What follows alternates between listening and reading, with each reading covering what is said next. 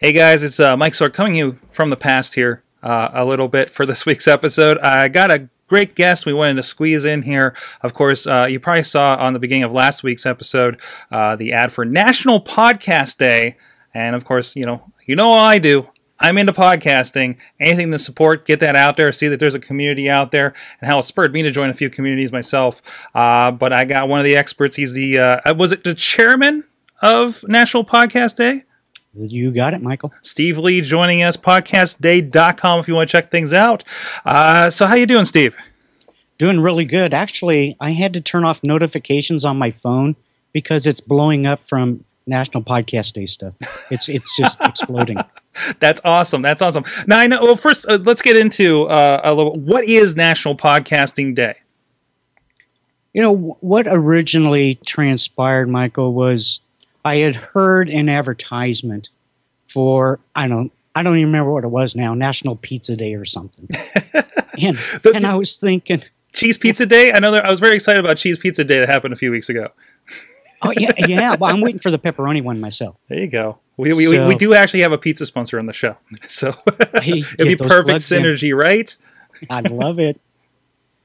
And what transpired was I was driving home and I thought, why don't we have one in the podcasting space to assist in getting the word out, uh, you know, about our craft, about our art, what podcasting is? Because I, have been doing experiments where I've been video pe- people and ask them, what's your favorite podcast? And of course, if they know what a podcast is, they'll respond right away. And if not, they give you that stupid stare and go, well, it's a podcast. So there's a, a multitude of of collections here that we're trying to do from the podcaster's perspective, from a listener perspective, and a perspective of people that don't have a clue what a podcast is, and try to educate, not only just promote, but educate people on the value of them in the great space that is is there with podcasting, whether it's for, as you know, education, whether it's for laughter, whatever the case may be, to get involved. So I thought about, and I got with a, a few other podcasters in the, that I know very well, and I asked them if they wanted to get involved with this. So this was almost a year ago that we uh, started looking at this, and finally decided to attempt to kick it off this year. Uh, so to really get buy-in, I went to Podcast Movement uh, in August and presented it to the group, and it went over very well. Uh, so we proceeded on with uh, National Podcast Day. Awesome, awesome. You know, and this is something over the years. You know, I mean, I you know, I started getting into podcasting in 2006, where I know like it was a movement, it was grassroots, and it was like felt really good to be a part of. And it felt like like to me, as far as my observing, you know, I, I follow kind of the big time guys a little bit. You know, the five by fives, the Leo Laportes, um, and then and then I've seen this kind of flux of like the Kevin Smiths and the Adam Carollas, and and now my favorite wrestlers are all getting podcasts on these giant networks. And and then I feel like uh, you know, you go to your uh, your iTunes or wherever you go, and you see ESPN, ABC News, you know, and, and I've always worried about uh, the little guys like us kind of getting drowned out uh, with all that kind of big pre- big pressure. But although it does seem to validify or the the format a little bit. Well, it really does because those big corporations would not be involved if they didn't think there was value in there and getting their information out into, into their customers although all they do is repurpose their broadcasts, you know, as an MP3 and redistribute them. Not so much like what we do, come up with great content all the time and distribute it. But it does show the validity in where this space is going.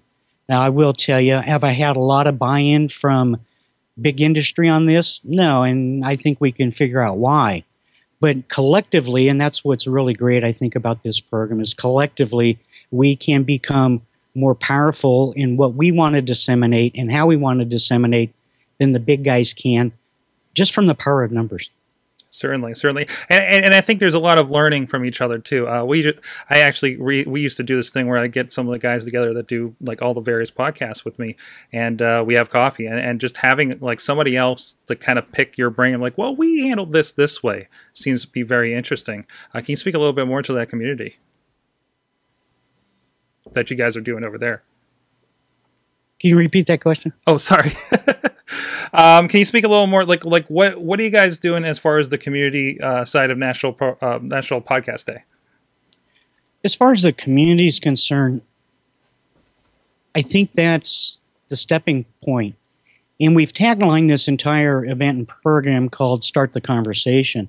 So when we talk about community, uh, I don't think a lot of that community is built. You know, as podcasters, we talk a lot internally amongst ourselves about podcasting, but not so much externally.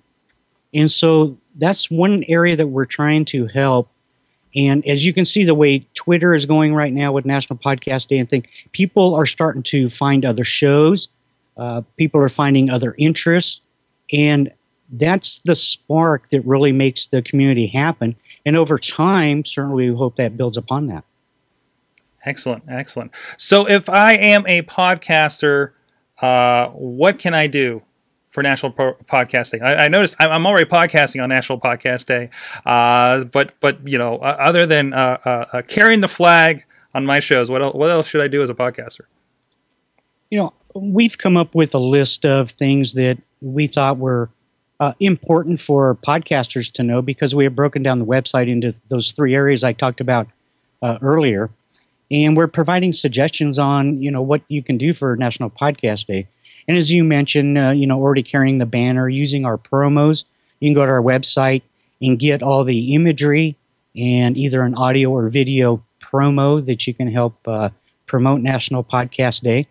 Uh, but the, then there's other suggestive areas like um, you know, host a meetup or create a 30 second promo and, you know, cross promote it with other podcasters. Um, come up with innovative ideas. Uh, we, we are still asking people to go out, as I was telling you about, and shoot a video asking somebody of what a podcast is and post it, hashtag it, and we're going to uh, put those all together and create a, not a full length feature film, but a, a, cool video with, with all those kinds of uh, uh comments. But the, I think the real pinpoint of what we want podcasters to do is just talk it up. Talk it up. Because as podcasters, we love talking about our craft. And when we have kind of a, a medium here where we're kind of uh, juggling the balls for you, you might say, it, it creates a good uh, way to exchange information. Awesome. Awesome. Um, so, uh, and, and, uh, as far as that, you know, today it seems like it's easier to get into podcasting. Like you had to have an Apple device, you had to have something else, or like try one of these other things. But but like for me, I like Stitcher seems to make things a lot easier. We have a separate podcast app going on on iTunes. Um, um, what do you think of the state of podcasting now, as far as accessibility for the for the for the layman out there that maybe doesn't know what a podcast is?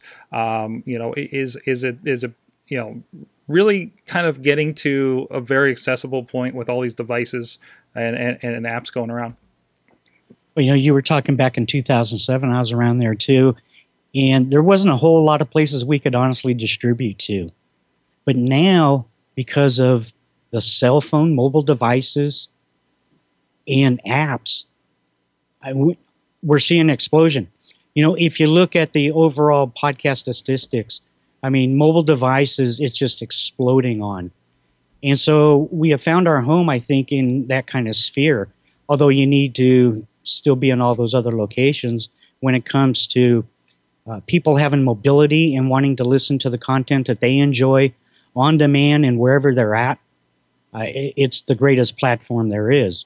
Um, certainly, we're going to see the numbers to grow, but I think we're also going to probably see a saturation point, and I think we're also going to start seeing the uh, the chaff get separated out.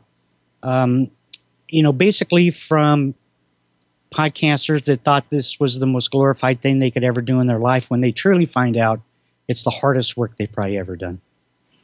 Yeah, yeah. Uh, so you've been at this for a while. It sounds like. Um, what what's been the high point of podcasting for you?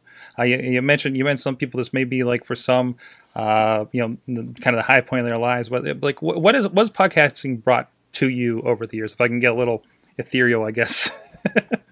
Yeah, well, actually, uh, I run a podcast network called Netcast Studio at netcaststudio.com, and we, we have various shows over there. And I think probably one of the most exciting things for me is the building of the network over time. You know, starting from one show to two and on and on and on. But what is really the most gratifying, the most satisfying aspect of any of that is the listeners, the community that get involved with you. That's what makes it fun. Otherwise, it's like talking into a wall. you know, if, if you don't have any response, any feedback, uh, there's no motivational factor anymore. So it's the community that really charges you uh, to to continue to create good content, and people really enjoy that association when they can converse with the person behind the mic. Um, some of the other milestones uh, I would say are, I believe it's the last four years we've been up for podcast awards in one category or another. So that's proof of the pudding for us that we're doing something right. And we've been able to also expand in podcasting. I don't know if you're on our platform, but for any other podcasters or listeners that are uh, listening, we also do twothumbsupmedia.com, which is a podcast directory where anybody can go submit their shows to there as a, a directory service for locating or uh, displaying your shows. So there's been a lot of highlights. And then when we get to uh, National Podcast Day, when I start putting all these different venues and things that we're doing, I, I'm just smiling. I'm just I'm just loving the space and loving what we're doing. Awesome, and, and, and, it's amazing like how big it is. Like I always, I always feel like we we're kind of in our own fishbowl, especially as podcasters and everything. But we have our own, you know, round of uh, uh of podcasts that we we listen to. We know of like these are all brand new sites to me. right. So um, you know, definitely ones I'm going to be checking out as a podcaster myself. Um, so awesome. Uh, so uh, anything else they need to know about Podcast Day? I think the the most important thing to probably get out of this is enjoy the event. Uh, certainly, this is our first year. We've already got plans uh, we're working on for next year to make it uh, bigger and greater. Uh, there's a lot of things we wanted to get implemented this year, but uh, due to time constraints and funding constraints too, we weren't able to do that. But share it. Start the conversation. You know, if you're in the grocery line with somebody or at a Starbucks, uh, you know, buy them a cup of coffee and say, "Hey, have you heard of podcasting? let me, uh, you know, let me evangelize you about podcasting because it is our craft, it's our art, it's our love. We enjoy it, and let's get more people involved with it. Um, you know, it's a space where it, everybody has their own individuality. It's not set in stone like a lot of radio and TV programming is, as you know. So let's get people hooked and get them over to podcasting. Awesome! It's a perfect way to do it. It's, let's. Uh, I, I, love it. It's a movement, and the movement's the movement's still moving. I, I, I love this. I think it's the perfect thing to reinvigorate uh, what's going on and kind of remind people or introduce people. Uh, certainly, what what a lot of people are doing uh, independently and it's uh, truly an alternative, uh, I think, to to media. Because I mean, we're in a long time we're we're we're a lot of times competing with like main media, radio for am I going to listen to this hour podcast or I'm just going to listen to radio or I'm going to watch uh, the Daily Show, and it's really cool to see the big numbers that do decide this kind of thing. Absolutely, because people can now find information of interest in in whatever they're, you know, that they have a niche in. As where if you watch TV or radio, uh, you really don't have that kind of selection piece. No, so no. that's why it's really important to get people involved. No, it's certainly it's certainly the broad appeal, uh, most common denominator, I guess you could say in some cases. So um, awesome, Steve Lee joining us uh, again. Uh, let us know all the places they can find you on social media websites. Well, of course, National Podcast Day, nationalpodcastday.com. Uh, same thing on social media there. You can find my network at netcaststudio.com and we're on social media at netcaststudio.